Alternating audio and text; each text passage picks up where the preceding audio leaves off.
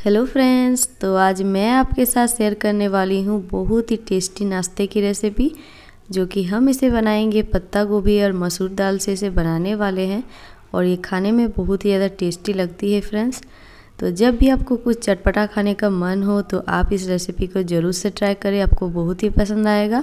और ये झटपट से बन जाती है, मात्र इसे बनाने में दस मिनट का समय लगता है फ्रेंड्स तो आप इसे ज़रूर से बनाएँ और खाएँ। तो चलिए फिर हम रेसिपी को फटाफट बनाना शुरू करते हैं। तो चलिए सबसे पहले यहाँ पे मैंने एक बाउल ले लिया है और यहाँ पे मैंने लिया है आधा कप मसूर का दाल।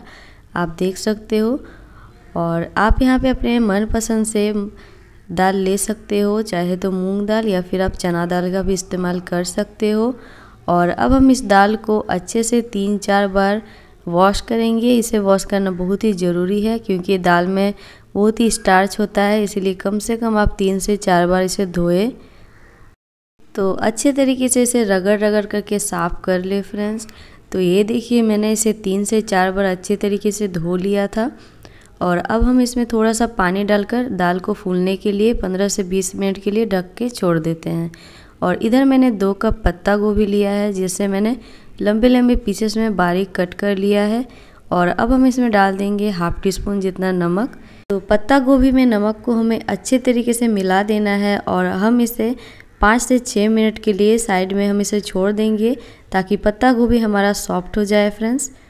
तो ये देखिए, पाँच मिनट बाद आप देख सकते हो पत्ता गोभी हमारा कितना ज़्यादा सॉफ्ट हो चुका है और अब हम क्या करेंगे, इसको मसल मसल करके पत्ता गोभी में जो पानी होता है उसे हमें निकाल देना है फ्रेंड्स। तो अब आप देखिएगा धीरे धीरे इसमें कितना सारा पानी निकलेगा। तो ये देखिए, आप देख सकते हो फ्रेंड्स और ठंड का मौसम आ चुका है और ठंड ठंड का मौसम में बाज़ार में बहुत ही हरा भरा पत्ता गोभी मिलता है फ्रेंड्स तो क्यों ना आप इस समय एकदम गर्मा गर्म इस नाश्ते को ट्राई करें। आपको बहुत ही अच्छा लगेगा, बहुत ही पसंद आएगा। खाने में बहुत ही ज़्यादा यमी लगती है ये नाश्ता। तो ये देखिए, इसमें से कितना सारा पानी निकला है और अब हम इस पानी को फेंक देते हैं फ्रेंड्स और इधर हमारी 10 मिनट में मसूर दाल फूल करके तैयार हो चुकी है। पहले से डबल हो चुकी है, आप देख सकते हो फ्रेंड्स मसूर दाल को फूलने में बिल्कुल भी समय नहीं लगती है। आप अगर यहाँ पे दूसरा कोई दाल लेते हो तो उसे समय लगता है फूलने में। उसका पानी मैंने फेंक दिया है और अब हम क्या करेंगे, एक यहाँ पे मिक्सर का जार ले लेंगे और उसमें सब दाल को मैं डाल देती हूँ और थोड़ा सा हमें हल्का सा इसे दरदरा पीस लेना है। ज़्यादा इसका पेस्ट नहीं बनाना है, आप देख सकते हो। इसे मैंने दरदरा सा पीस लिया है फ्रेंड्स और अब हम क्या करेंगे? वो पत्ता गोभी हम इसमें डाल देते हैं। और अब मैंने यहाँ पे दो प्याज लिया था, जिसे मैंने बारीक कट कर लिया है, इसे भी डाल देते हैं। और अब हम इसमें डाल देंगे चार से पाँच बारीक कटा हुआ हरी मिर्च। आप यहाँ पे तीखा कम खाते हो तो कम डालें। अब मैं इसमें डाल रही हूँ बारीक कटा हुआ हरा धनिया ढेर सारा।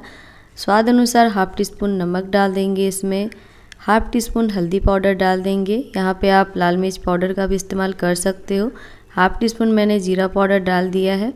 और लास्ट में हम इसमें डाल देंगे चार चम्मच भर के बेसन। आप यहाँ पे चावल का आटा भी ले सकते हो फ्रेंड्स। नहीं तो फिर आप यहाँ पे मैदे का भी यूज़ कर सकते हो।